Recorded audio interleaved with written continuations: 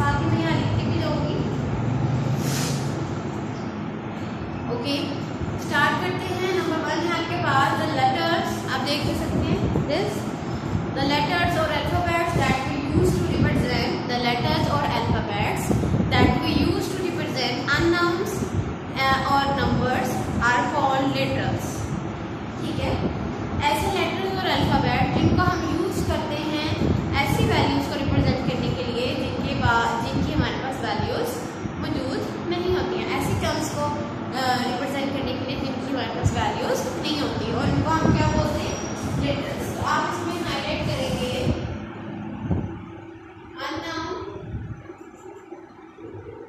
अननाउंस और नंबर्स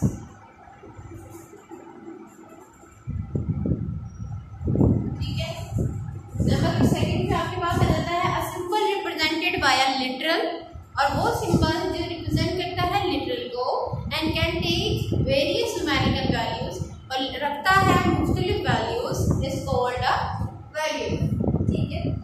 इसमें आप लिटरल और वेरिएबल को हाईलाइट करेंगे। लिटरल और सेकंड में वेरिएबल ये टू वर्ड्स जो है आपने इस लाइन में हाईलाइट साथ ही आपके पास है number third point a symbol having a fixed value is called a constant आपको बताया था ऐसी वैल्यूज़ जिसकी वैल्यू ऐसी टर्म जिसकी वैल्यू चेंज नहीं हो सकती उसको हम कांस्टेंट कहते हैं और उनके लिए हमने फिक्स्ड का वर्ड यूज़ किया है। इस टाइप में आपने भी टू वर्ड्स को हाईलाइट करना है। Fixed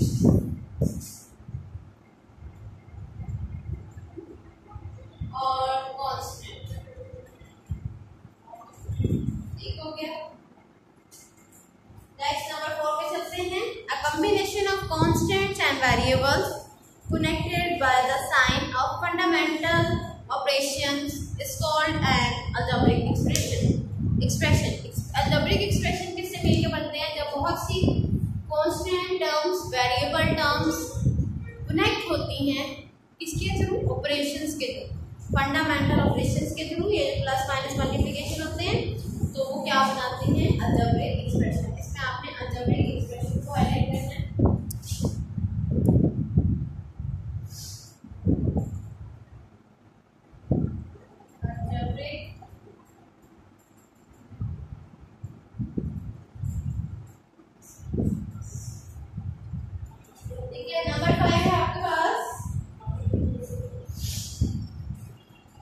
The parts of an algebraic expressions separated by the operational signs plus and minus are called its term. Obviously बात है एक algebraic expression में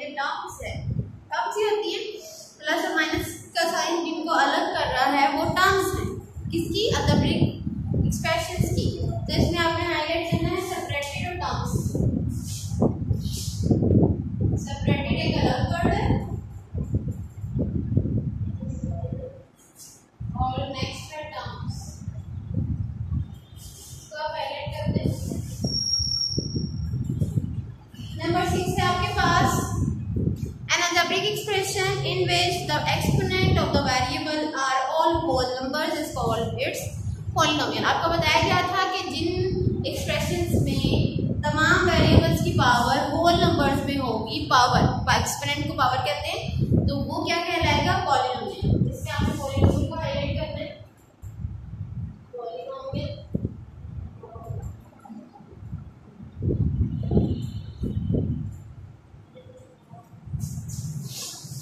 नेक्स्ट है a polynomial can be arranged in any order but usually we arrange it in descending order.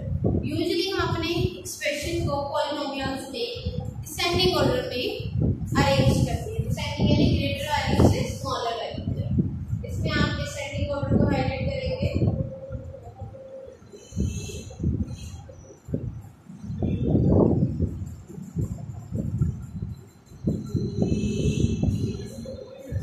Next है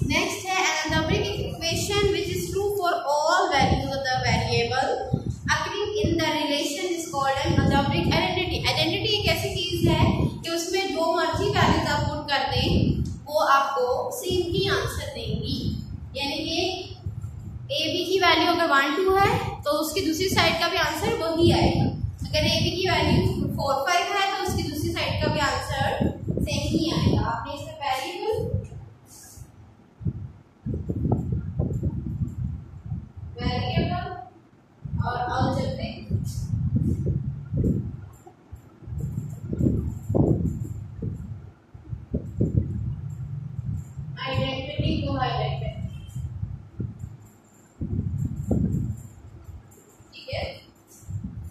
Next है the process of writing an algebraic expression as a product of two or more expressions which divided exactly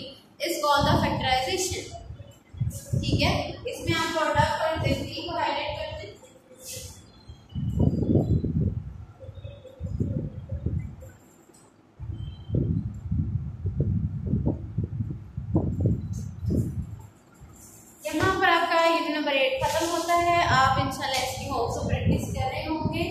तो इंशाल्लाह हम फिर मिलेंगे next lecture में।